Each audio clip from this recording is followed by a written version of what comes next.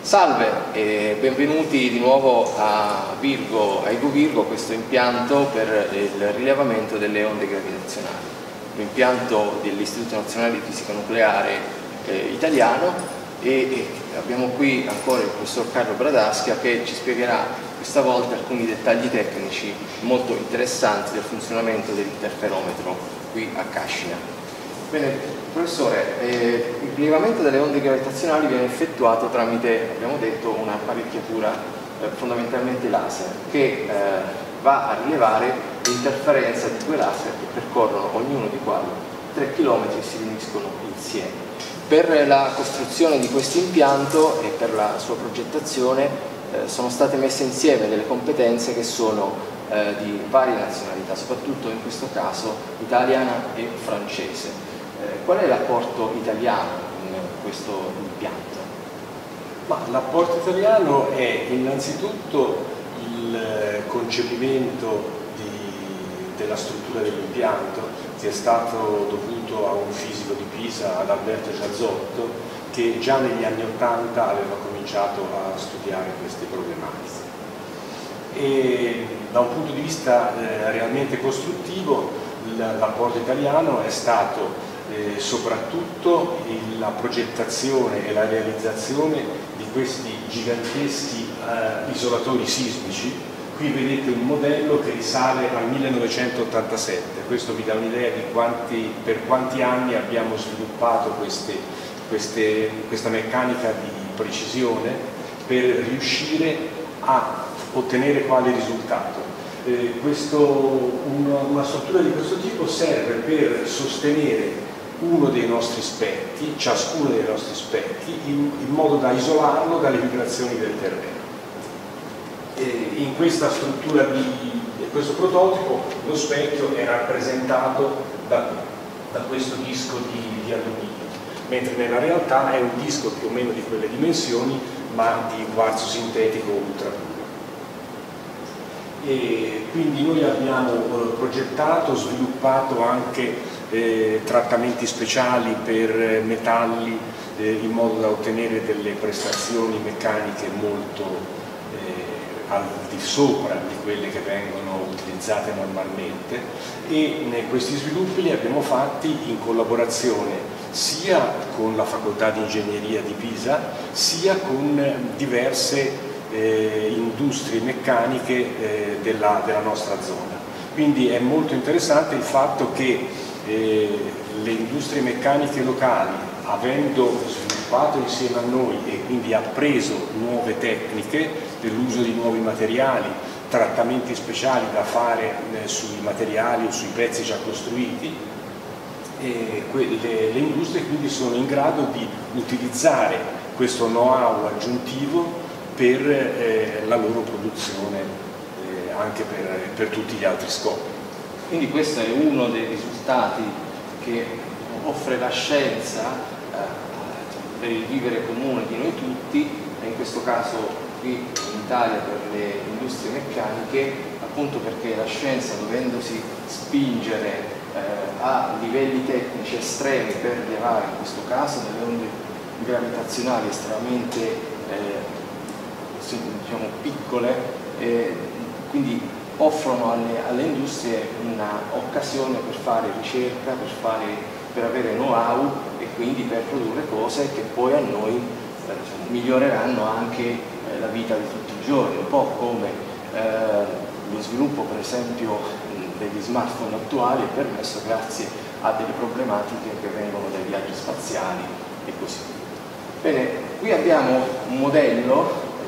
molto piccolo perché nella realtà abbiamo detto che queste braccia eh, del, dell'impianto, poi le vedremo, sono lunghe ben 3 km. Allora, qui abbiamo una fonte eh, del laser e il laser invece è di produzione francese, quindi diciamo, detta così eh, semplicemente, i francesi erano molto forti, molto avanti sul campo laser, noi invece eh, eravamo molto bravi ad isolare eh, gli specchi dagli eventi diciamo, del terreno eh, esterno. Sì, mo molto schematicamente la suddivisione è, di questo tipo. E poi naturalmente c'è dei, dei grandi sviluppi di, per eh, sistemi elettronici di controllo che possono consentire appunto di verificare eh, il comportamento del, del, laser da un punto di vista della stabilità in frequenza e della stabilità in potenza, eh, regolare anche, eh, controllare eh, molto accuratamente l'ultra alto vuoto che c'è nei due tubi di 3 km cui si propaga il fascio del laser e, e poi eh, naturalmente sviluppare tutti i programmi di analisi che servono per riuscire a eh, discernere dalla grande quantità di dati segnali molto ampi che vengono registrati dai nostri fotodiodi e dentro riuscire a scavare e eh, eh, riconoscere gli eventuali segnali dovuti a vere onde gravitazionali e non a quelli che noi chiamiamo rumori esterni. Ecco perché poi appunto i, problemi, tantissimi problemi tecnici che eh, si sono dovuti affrontare per realizzare un'apparecchiatura del genere, un impianto del genere e tra l'altro fare l'upgrade che è ancora in corso e sarà pronto eh, verso la metà di quest'anno, del 2016, eh, sono dovute all'estrema sensibilità che deve avere eh, la, la, misura. Eh, quindi lei diceva in questi tubi che, eh, con, diciamo, in cui passano i laser, qui deve essere creato un vuoto quasi assoluto praticamente e quindi anche questo vuoto deve essere controllato perché se ci fosse particelle di aria potrebbero interferire con il laser quindi con la misura, dato che le misure che vengono effettuate sono dell'ordine di una piccola frazione di, di, di, di una piccola frazione del nucleo di un atomo. Sì, sì, è, è vero, eh, come abbiamo già detto prima, eh, l'effetto delle onde gravitazionali è di allungare accorciare alternativamente i due bracci dell'interferometro ma di quantità estremamente piccole. Pensate che due bracci di 3 km vengono allungati e accorciati di un miliardesimo di miliardesimo di metro, quindi una quantità estremamente piccola, come è stato appena detto, e quindi eh, il, eh, anche la superficie degli specchi deve essere perfettamente levigata, perfettamente levigata eh, a livello di qualche decina di nanometri, vale a dire qualche decina di miliardesimi di metro, per fare in modo appunto che i due fasci di luce possano andare avanti e indietro molte volte, alcune centinaia di volte, eh, facendo sempre esattamente lo stesso percorso. Qui abbiamo uno degli specchi, anzi uno degli specchi che erano montati prima dell'inizio dell'upgrade del, dell'impianto ed è analogo a quelli che sono montati in questo momento, solo che è leggermente più piccolo, però è lo stesso specchio sostanzialmente. Eh, questi specchi abbiamo detto che riflettono la luce laser, una luce laser di un certo colore, quindi di una singola frequenza per poter poi verificare che questa frequenza eh, sia corrispondente tra i laser di ritorno. Ma eh, quali sono eh, i problemi tecnici e di costruzione eh, di uno specchio del genere, professore? Per farvi capire io vi racconterò la storia di uno di questi specchi. E la storia inizia in una, eh, in una impresa eh, in Germania che produce del, del quarzo sintetico ultrapuro che viene fuso e colato all'interno di eh, una forma, immaginatevi una forma tipo delle dimensioni di una forma di parmigiano come dimensione. Viene colato, fuso lì dentro e viene lasciato raffreddare in un mese o più. Perché un raffreddamento così lento? Perché in questo modo si evita che si formino tutte le tensioni interne del, del, blocco di quarzo che quindi produrrebbero quella che viene chiamata birifrangenza della luce e quindi eh, perturberebbero il, la geometria dei fasci laser che si devono riflettere sulle superfici di questi specchi. Eh, perché questo specchio è trasparente e io mi ostino a chiamarlo specchio? Perché è trasparente per la luce visibile, quindi noi lo vediamo perfettamente trasparente. Viceversa è perfettamente riflettente per la luce infrarossa del laser che ha una lunghezza d'onda eh, un, circa una volta e mezzo quella della luce rossa per esempio e quindi per noi è invisibile ma per eh, i nostri sensori ovviamente è, è, è perfettamente visibile. Una volta eh, ottenuta questa, questo disco di quarzo eh, sintetico, il, eh, il, disco di quarzo sintetico viene inviato a eh, una ditta negli Stati Uniti o a un'altra in Australia che sono le due ditte che sanno eh, fare la levigatura delle facce degli specchi con la massima precisione oggi disponibile. Eh, si arriva ad avere della, un controllo delle asperità della superficie dello specchio a livello di pochi strati molecolari mediante quello che viene chiamato eh, ion milling, eh, una fresatura con un fascio di ioni che porta via pochi gruppi di atomi alla volta. Eh, fatto questo, lo specchio imballato perfettamente, preferibilmente sottovuoto, viene inviato finalmente al nostro laboratorio di Lione. Il nostro laboratorio di Lione è il eh, laboratorio migliore al mondo per depositare sottovuoto sulle facce di questi specchi gli strati riflettenti che serviranno appunto, come abbiamo detto prima, per riflettere la luce del nostro laser. una prova della eccellenza di questo metodo di deposizione degli strati riflettenti viene dal fatto che anche per il progetto LIGO eh, gli strati riflettenti degli specchi sono stati fatti dal nostro laboratorio di Lione. Quindi anche negli Stati Uniti utilizzano gli stessi specchi tanto avanzati come tecnologia. E mh, mm, abbiamo detto però che questi specchi poi sono montati su un uh, supporto che adesso qui non c'è in questo momento ma è, eh, serve appunto per eh, evitare e eh, compensare i movimenti tellurici quindi eh, proprio perché abbiamo bisogno di una precisione assoluta abbiamo gli specchi migliori del mondo possiamo dire e abbiamo anche il sistema di compensazione tellurica più preciso del mondo che è stato appunto sviluppato in Italia. Dunque un sistema di questo genere, cioè un interferometro, in teoria avrebbe bisogno soltanto di un singolo laser che viene bipartito, questi laser tornano indietro e poi eh, si va a misurare semplicemente l'interferenza tra i ritorni dei laser. Eh, ma questo sistema eh, come è costruito in questo momento è molto più sensibile. Eh, quali sono diciamo, gli accorgimenti che avete usato per renderlo ancora più sensibile di quello che in teoria potrebbe essere? Dunque, gli accorgimenti che abbiamo utilizzato eh, sono, sono, diversi. Se per esempio ci riferiamo a quel modellino che abbiamo visto eh, nell'ingresso dell'edificio principale, eh, comunque anche quel modellino è un un sistema che è sensibile a variazioni delle lunghezze dei suoi bracci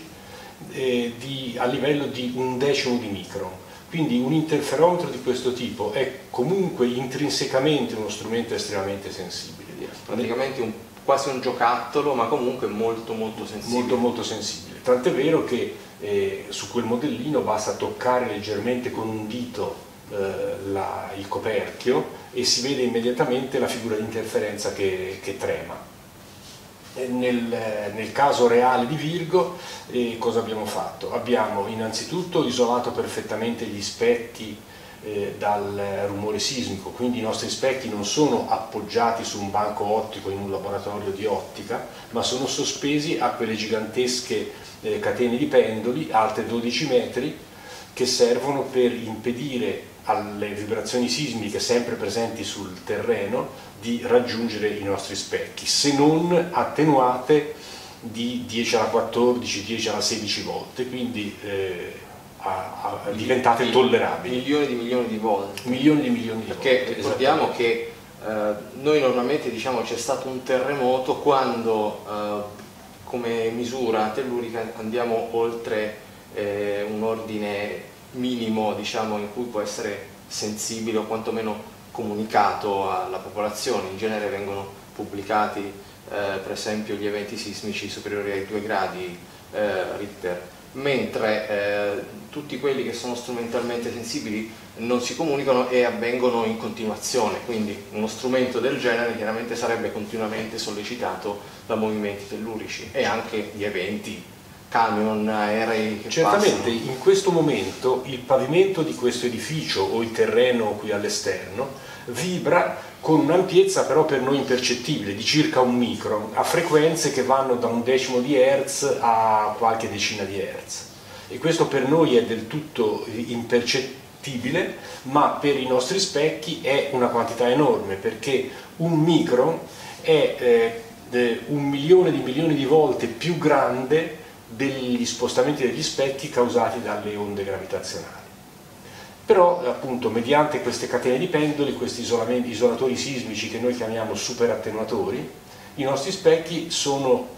perfettamente, fra virgolette, fermi. Allora, il modello che abbiamo visto, che diciamo di praticamente 30 anni fa, cioè, sì. che abbiamo visto qui all'ingresso davanti al modellino, uno dei modellini dei laser,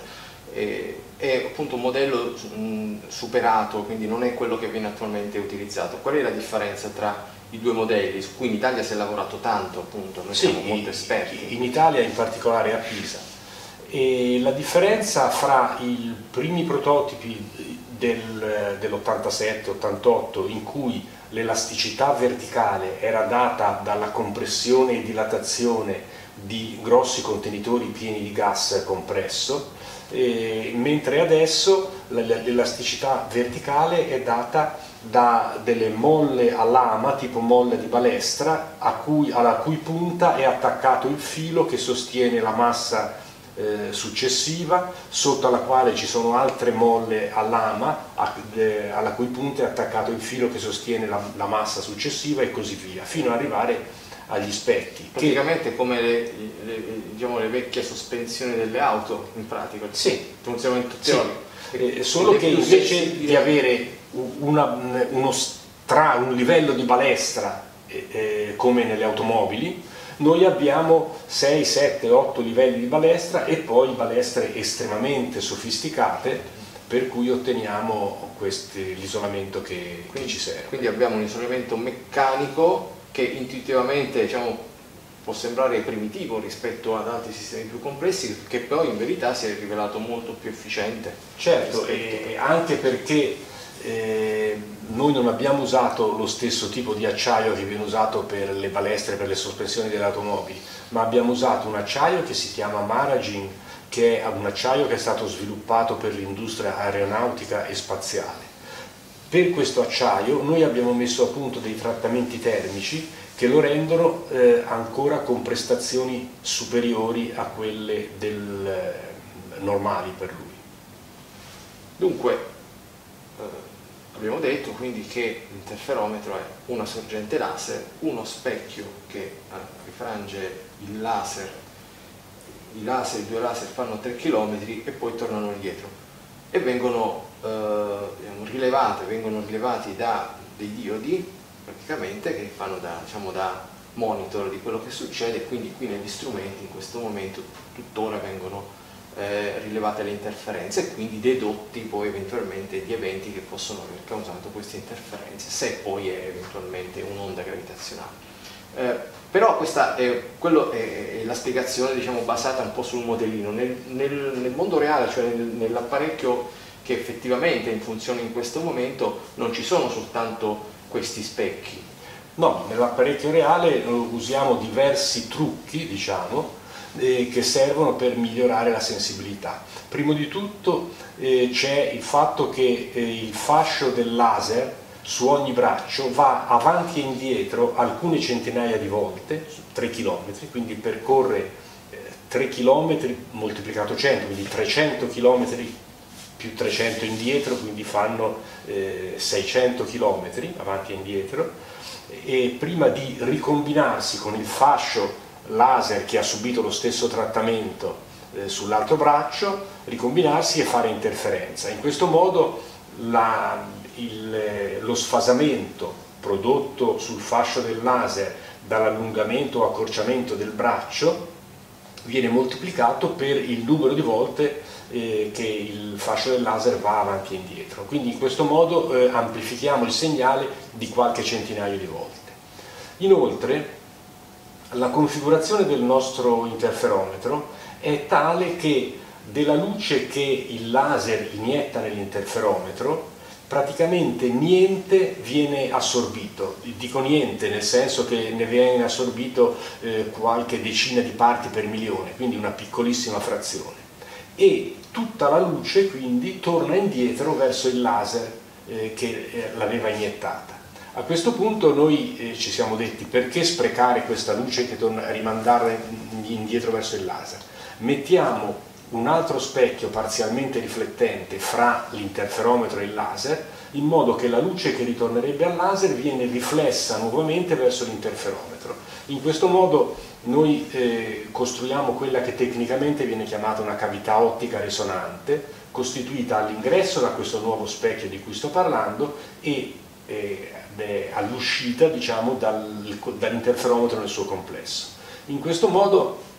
moltiplichiamo eh, artificialmente la potenza del laser. Noi abbiamo laser che oggi hanno potenze che vanno fra i 100 e i 200 watt,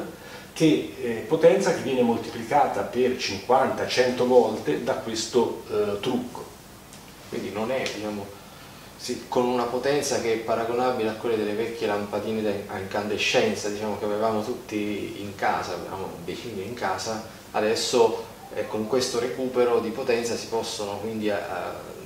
realizzare questi, eh, queste emissioni di, di, laser che vanno avanti centinaia di volte avanti e dietro e poi vengono, sì, vengono presi. Eh, la potenza luminosa che circola nei due bracci è a livello del megawatt, che è una cosa eh, insomma, molto molto notevole piacerebbe anche a me con 100 watt riuscire a eliminare e questo grazie appunto alla risonanza ottica cioè a questo laser che continua ad andare avanti e dietro è come se noi esatto. avessimo una casa piena di specchi quindi esatto, un, sì. un, po' meglio diciamo, specchi un po' migliori certo. di casa mi ha molto colpito il colore delle campane eh, che ricoprono eh, gli specchi e i laser eh, è quasi un colore ramato c'è un motivo per cui eh, non è un metallo diciamo, normale, perché sembra quasi fossero di rame. Sì, è vero, eh, perché eh, tutti, tutte le parti di acciaio inossidabile che costituiscono l'involucro del nostro sistema da vuoto, quindi le campane alte 12 metri di 2 metri di diametro e i tubi di lunghi 3 km di 1,20 m di diametro, tutti gli elementi che costituiscono queste parti sono stati riscaldati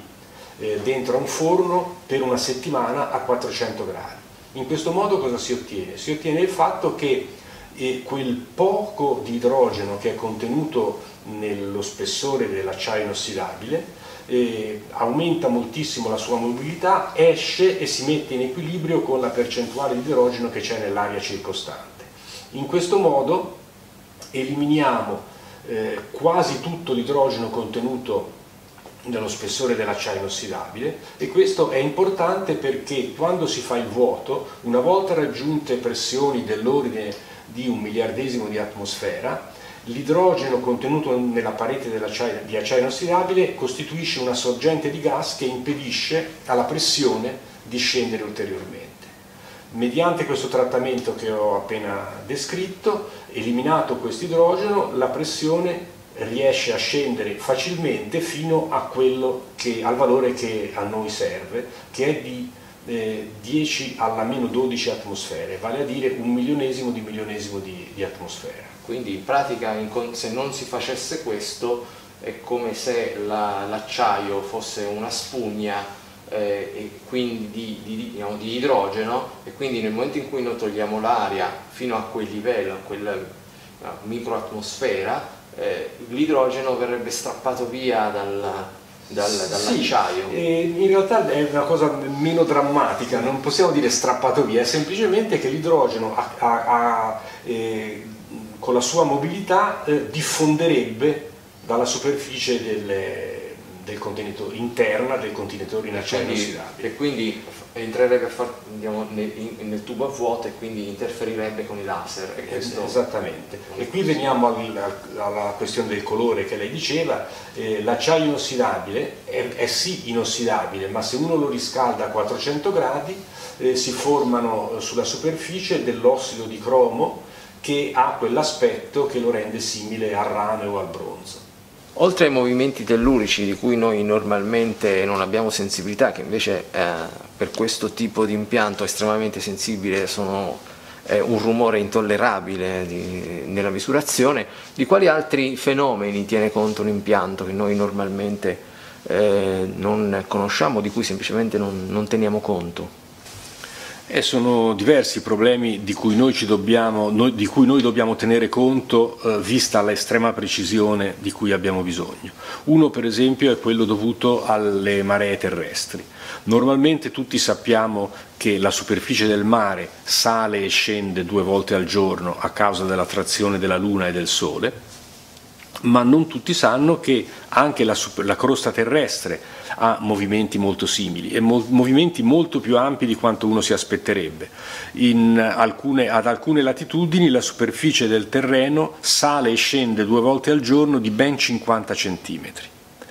E comunque questo non sarebbe un problema se il nostro interferometro salisse e scendesse di, in, indisturbato di questa quantità. Il problema viene dal fatto che quando la superficie terrestre sale si dilata anche un pochino, quando scende si comprime. E queste variazioni di lunghezza su 3 km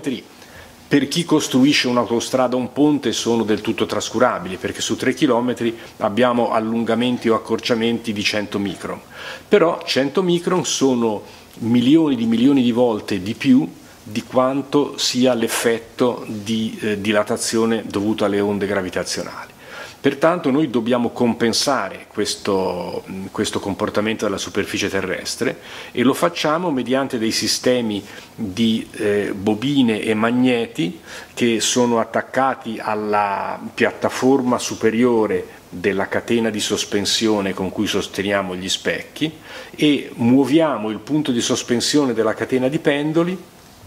in modo da compensare esattamente quei 100 micron avanti e indietro giornalmente, due volte al giorno anzi. Un'altra un cosa è eh, per esempio il problema della temperatura degli specchi. Eh, tutto il nostro sistema meccanico e ottico naturalmente eh, ha bisogno di essere stabilizzato in temperatura perché qualunque cosa dipende dalla temperatura e comunque è, è sufficiente eh, stabilizzare, quindi condizionare eh, eh, il volume interno dell'edificio da cui partono i fasci laser e degli edifici terminali in cui si trovano gli specchi che rimandano indietro eh, i fasci laser, eh, è sufficiente mh, stabilizzarli a livello di qualche decimo di grado. Viceversa, gli specchi stessi, eh, dove ricevono il fascio di luce che si riflette, assorbono una quantità minima perché sono degli specchi veramente molto buoni, però assorbono a livello di qualche parte per milione che è eh, di nuovo per la vita di tutti i giorni sarebbe una cosa del tutto trascurabile, per i nostri specchi non lo è perché questa piccolissima potenza assorbita produce una deformazione termica della superficie dello specchio che deformerebbe la forma del fascio del laser e quindi produrrebbe una, una dispersione che sarebbe intollerabile. Per ovviare a questo problema cosa facciamo? Mentre la parte centrale dei nostri specchi è riscaldata dal laser che a noi serve per le misure, e noi riscaldiamo anche la parte esterna dello specchio con un laser infrarosso eh, ausiliario. In questo modo tutta la superficie dello specchio, sia quella dove si riflette il fascio del laser sia quella di, mh, attorno eh, vengono riscaldate alla stessa temperatura. E qui naturalmente eh, parlo di decimi di grado, eh, non parlo di centinaia di gradi. Però eh, nel nostro caso, nella, vista la nostra sensibilità, è assolutamente necessario fare questa compensazione. E in questo modo eh, manteniamo la superficie degli specchi del tutto invariata e quindi la forma del fascio del laser eh, indisturbata. Ringrazio il professor Carlo Bradaschia dell'Istituto Nazionale di Fisica Nucleare per questo secondo tour eh, dell'impianto Ego Virgo di Cascina, l'interferometro che viene definito il righello più preciso del mondo, in grado di misurare una differenza di distanza di un millesimo del nucleo di un atomo, per avere un po' l'idea. Eh, grazie per averci spiegato anche tutte le problematiche tecniche che sono dietro questo impianto e anche un po' averci fatto capire la ricaduta sul mondo reale che possono avere queste, eh, la risoluzione di queste problematiche eh, che porteranno a un vantaggio quindi per le industrie e poi per i nuovi eh, prodotti e nuove tecnologie di cui potremo usufruire. Mi ha fatto molto piacere la vostra visita e come sempre noi siamo molto non solo disponibili ma eh, cerchiamo di incrementare le visite di questo tipo come anche le visite di scuole. Fra l'altro mentre eh, eravamo qui a fare questa intervista, chiamiamola, abbiamo visto una classe di una scuola che è venuta a visitare, a visitare Virgo. Quindi di nuovo noi siamo molto contenti di questo e eh, speriamo di migliorare, di completare il miglioramento dell'interferometro che è in corso in questo momento e di iniziare a prendere dati a settembre, quindi fra sei mesi circa, con una sensibilità maggiore e quindi con, eh, di, di avere la capacità di rivelare forse più di un evento al mese. Grazie.